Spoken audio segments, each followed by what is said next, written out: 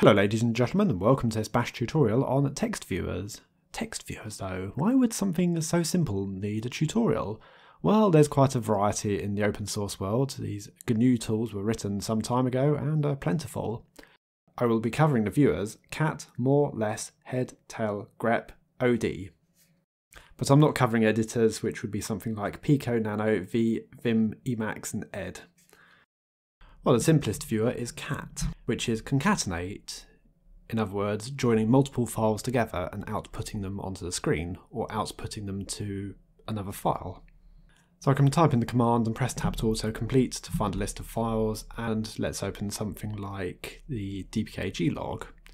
And as you can see, there's quite a lot of text and it's just flown straight down the screen. And I've got a scroll bar already, so great, there's far too much to read there. Perhaps it would be better to have more control over the file and be able to scroll down myself. And that is where tools like more and less come into play.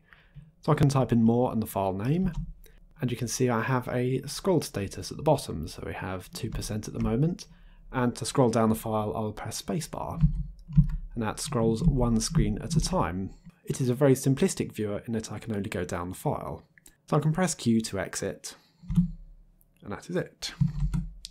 The other command, less, which is used in a similar fashion with less and the file name, actually has more control because I can scroll up and down using the arrow keys, page up, page down. So in fact, less is more and more is less. And again, I can press Q to exit. Okay, that is very simplistic looking at a file, but the other factor where they can come into play is from piping a command through. Something like ps-a, which is going to list all processes on my system, is again going to fly down the screen, I suppose not a problem here, I have a scroll bar so I can scroll up the screen. But if I was in a TTY console then I would not have that feature. And that is where more and less come into play. So by piping the command through to less, I can scroll up and down and see the whole list.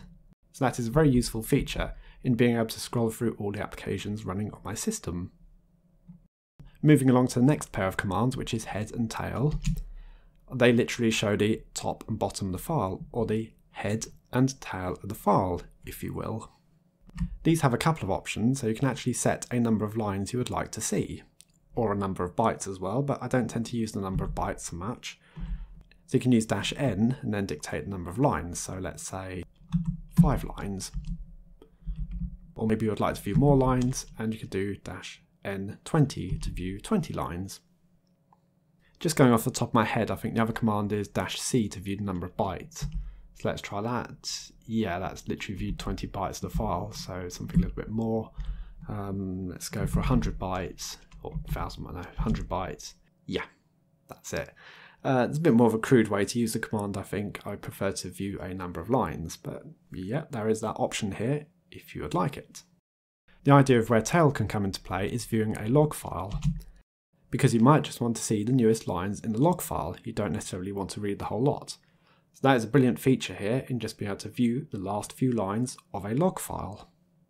You can combine heads and tail together to extract, let's say in this case, the middle line of that file. So I have first, middle and last lines there, so let's try and get just the middle line out.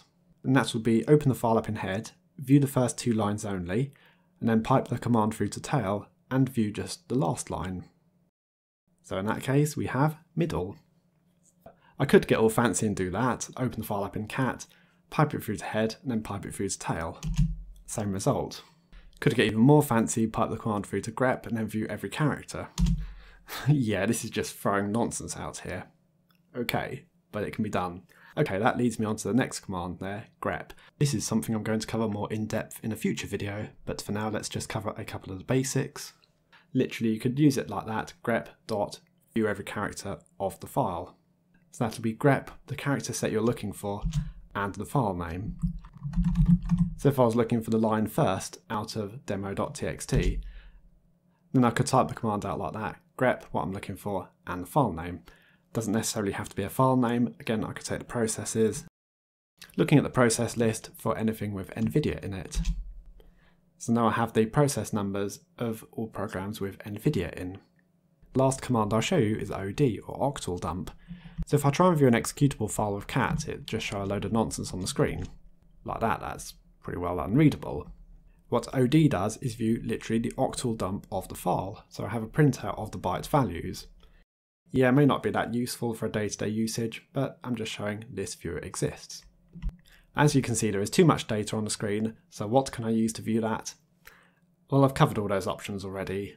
More, or less, head, tail. And now I can scroll through that file. That was a look at some of the basic text viewers available in the Linux terminal. Thanks for watching, I'll see you all later.